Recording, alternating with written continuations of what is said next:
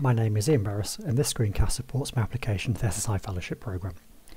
I'm based in IT Services Research in Queen Mary University of London, leading a central RSE group to support research staff and students across the university. Historically, I'm a mathematical biologist and previously was a senior computational epidemiologist at Public Health England. I'm a certified software carpentry instructor and have helped organise and run events for Research Software London. As an RSE without my own research programme, I promote code quality in research software developed by others. For quality assurance, I'm particularly interested in usability, maintainability, and standards compliance. I'm keen for code to be reproducible and portable, with careful consideration of data management. Even as a group leader, I get to do RSE work, a lot of this is ad hoc focus support for users of our high performance computing system. I see real user code from a variety of disciplines. Recently, I've looked at build systems, profiling and refactoring, parallel debugging and checkpoint repair, and implementing continuous integration and deployment. As an RSE group leader, I promote code quality concepts in a number of ways. I'm accountable for the work of the group and guide my staff. I give seminars to academic departments covering RSE practices, and I frequently have discussions with individuals and small groups. We also moderate code review clubs and provide specific software development support. Many of those current responsibilities I've just described align with the interests of the Institute, so why would the fellowship programme allow me to do more to enhance the quality of research code, both at Queen Mary and in the wider community? Benefits of being a fellow mentioned in the programme launch webinar apply to my situation. Visibility as a fellow of the Institute would improve outreach efforts within my university.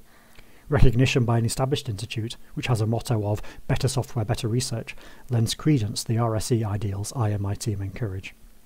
The platform offered by the SSI, including blog publication, and the peer support network of new and established fellows are also valuable here. More tangibly, my plan for the fellowship includes a series of workshops addressing two closely related areas of code quality and sustainability. These areas are legacy code and reproducibility. There's a lot of very old software used in research, especially with high performance computing. Much of this is seen as a black box, part of an established workflow.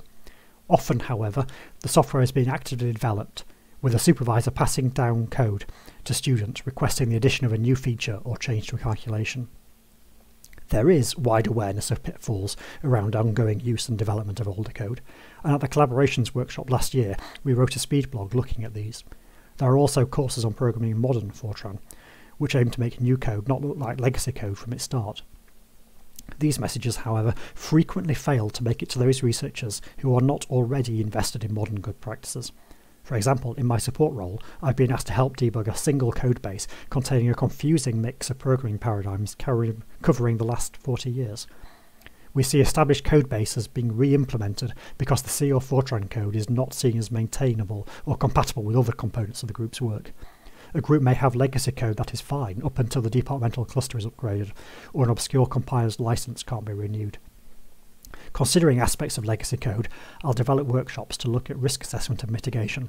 In hands-on sessions with participants' own software, we'll cover topics in modernising and mm-hmm. enhancing maintainability of older code, including surveying tools and testing techniques. We'll also consider language interoperability so that legacy code sufficiently updated can be used in other frameworks without re-implementation. Reproducibility in research software includes these legacy code concerns. It isn't reproducible if we can't run it. Even when implementing, again, we need an initial assurance that our new and old align. But it's a much broader topic than just being able to run old code. As a creator of research software, we should understand what reproducibility means in our specific context. Should we guarantee bit exact reproduction of results? Do we have non-determinism through our parallelism? Maybe we need to store and reuse a seed for our pseudo-random number generator. How do we link our output to a potentially unstable input dataset? Over the past year, we've seen attacks on software used to inform public policy, criticising race conditions, for example, when the reproducibility claims of the software are for the ensemble or ranking stability of intervention strategies. Through the fellowship, I will host workshops to help researchers understand and define reproducibility in their software. The workshops will raise awareness of techniques to provide the required levels of reproducibility assurance, such as testing and containerization. Reproducibility in research software is a vast topic, and requirements and outlook depend heavily on research domain. The individual workshops will target specific and distinct research fields to maximise benefit to participants at each. I've developed reproducible disease models, such as for creating scenarios for the UK government's pandemic influenza exercise, Exercise Cygnus. I know many other researchers and modelers dealing with reproducibility in disease modelling. The fellowship, however, will ease the inclusion of research domains beyond those of which I have direct experience. An existing fellow supports a workshop focusing on geomorphology. Considerations of reproducibility when studying a physically changing landscape are very different from those of a disease transmission model. The fellowship is key to developing a network of individuals who can provide the disparate input required to successfully run these workshops. In this screencast, I've tried to set out how an SSI fellowship will enhance my outreach efforts in promoting an RSE culture across research disciplines. With recognition and support of the Institute and its fellows, the proposed workshops can be developed with a much broader skill base and a correspondingly broad audience. I believe that leading a central, core funded RSE group close to the HPC support team, as well as being an active software carpentry instructor and organiser, makes me well placed to disseminate these workshops. The fellowship will directly fund expert participation in the workshops, as well as my own personal development, attending other conferences and workshops. Thank you for your attention.